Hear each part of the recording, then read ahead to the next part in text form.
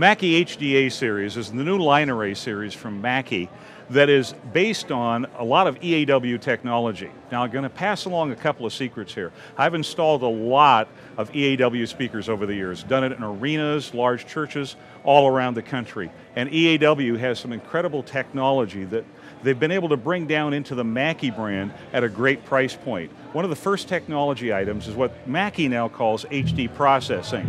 It's what is called EAW processing in the EAW brand. It's a special kind of processing to remove reflections that you get inherent in horn type speakers. The first time I heard it, it was like somebody took a curtain off of the sound. It became studio monitor quality. Well, that technology, which was very expensive a few years ago, has been brought down into the HDA line of speakers from Mackie. The other thing that you get with the HDA series from Mackie is incredible rigging quality. You can take a look at the side of the box here and you can see the rigging quality. This is straight out of the EAW design where you've got a nice metal bar coming through here, metal channel, pins, very solid. So the engineering the box and the rigging is straight from EAW, but brought in at a Mackie price point. The HDA line array is a 12 inch two-way line array 110 degrees horizontal with 20 degrees vertical. You can stack up to four boxes, so you can get a total of 80 degrees vertical with 110 degrees horizontal.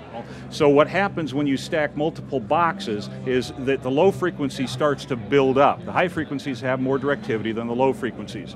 So you have an array mode switch, and if you have one to two boxes, you put it right in this position here, three to four boxes, a way to go right here, and then if you're in a super long throw mode, then you have a third position right here.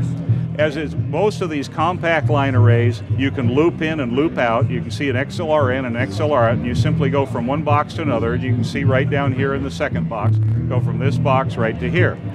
Power is by PowerCon, Neutrik PowerCon, and again, you loop from box to box to box, and you can go ahead and run all four boxes off of one 15 amp or 20 amp circuit.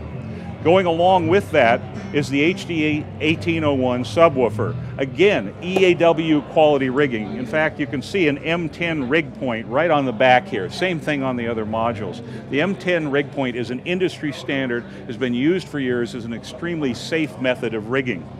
And with the subwoofer, you've got your ins and outs, and uh, you can go ahead and loop in the processing. You've got the selection of polarity invert, and away you go. So it's a complete package. In fact, you can see the quality of the build right here in terms of the birch plywood that they're using. So incredible quality, incredible processing, high power in a package that is an EAW quality package at a Mackie price point. With any speaker system for permanent installation, we always recommend that you do have engineering work done. You don't want to just hang one of these up without having some idea of how it's going to perform in your space. With every speaker system at CCI Solutions, we offer free design assistance. So call your design consultant at CCI Solutions today. We'll help you with how this Mackie HDA system can fit into your space. Make sure you have the right number of boxes and the right coverage in the right locations.